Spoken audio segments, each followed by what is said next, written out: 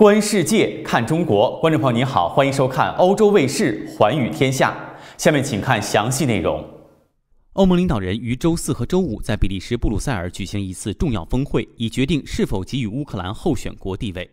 乌克兰总统泽连斯基最近表示，本周将是一个历史性的时刻，因为成员们将就授予他的国家候选资格进行投票。这是乌克兰在二月底发起加入欧盟的第一个正式步骤。随着欧盟二十七个成员国初步达成一致的立场，乌克兰获得候选资格的可能性很大。然而，此举在很大程度上是象征性的，因为候选国地位并不保证欧盟成员国资格，特别是考虑到乌克兰在社会发展、政治和经济方面远未达到欧盟标准。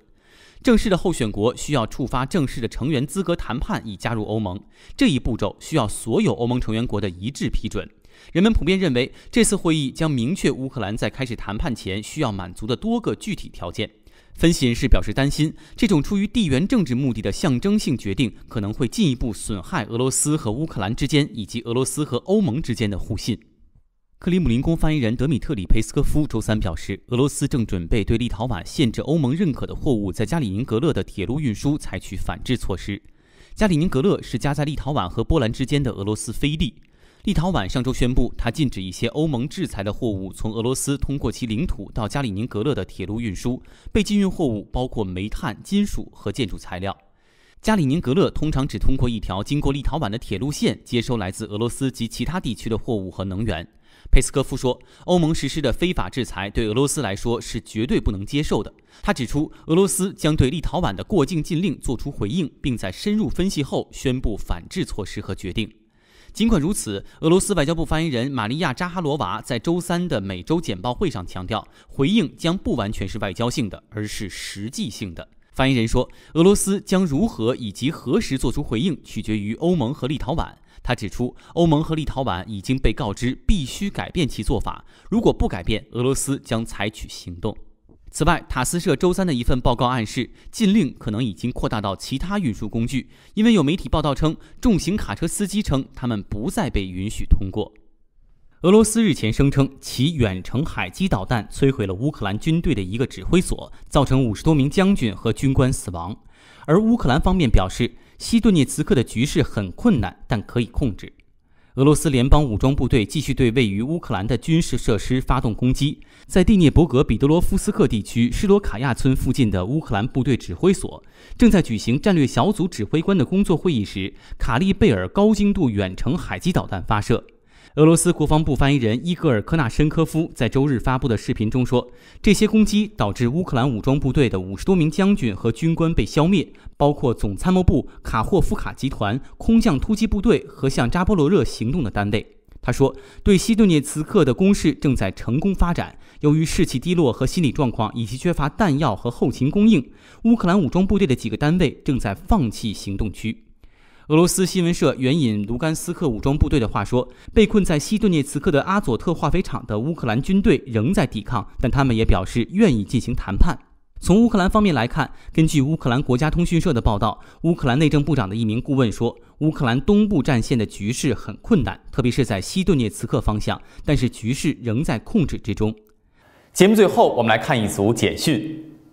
当地时间二零二二年六月二十三号，阿富汗帕克提卡省盖扬地区民众安葬地震死难者。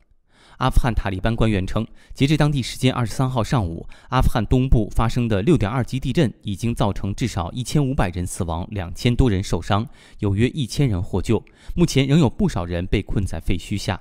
伤亡人数可能会进一步上升。受暴雨、山体滑坡等气候灾害影响，搜救行动困难重重，救援人员难以抵达偏远山区，幸存者只能在废墟上徒手挖掘瓦砾，搜寻幸存的同伴。当地时间二零二二年六月二十三号，巴基斯坦伊斯兰堡一个满载救援物资的卡车车队从巴基斯坦启程，前往阿富汗地震震中霍斯特，为受灾群众送去急救用品，包括帐篷、防水油布、毯子和药品。当地时间二零二二年六月二十二号，俄罗斯莫斯科一名建筑工人在美国大使馆附近的广场上安装顿涅茨克人民共和国广场的标牌。六月初，数十万莫斯科民众参加了由莫斯科政府运营的门户网站组织的投票，支持以顿涅茨克人民共和国的名字命名这个毗邻美国大使馆的广场。美国使馆的地址名称也由原来的伯利绍伊杰维亚金斯基路八号变更为顿涅茨克人民共和国广场一号。当地时间二零二二年五月三十号，俄罗斯首都莫斯科当地耐克商店。当地时间二零二二年六月二十三号，美国运动品牌耐克在一份电子邮件声明中表示，在暂停俄罗斯业务约三个月后，该公司将全面退出俄罗斯。今年三月，耐克公司曾表示将暂时关闭在俄罗斯拥有和经营的商店。当地时间二零二二年六月二十三号，孟加拉国希尔赫特当地遭遇洪水袭击。孟加拉国卫生服务总局下属的卫生应急行动中心和控制室二十三号发布报告称，季节性强降雨和部分地区的洪水已经造成孟加拉国六十八人死亡。洪水已经对孟加拉国大片地区的住宅、农作物、道路和高速公路造成了广泛的破坏。当地时间二零二二年六月二十三号，斯里兰卡科伦坡当地燃气短缺，一名男子用柴火做饭。斯里兰卡总理拉尼尔·维克勒马辛哈表示，经历了间断性停电、食品药品的严重短缺之后，该国负债累累，经济已经濒临彻底崩溃。以上就是本期《寰宇天下》的全部内容，更多资讯还可以登录欧洲卫视网站，以及关注欧洲卫视的 YouTube 频道和 Facebook 主页。感谢您的收看，咱们下期节目再见。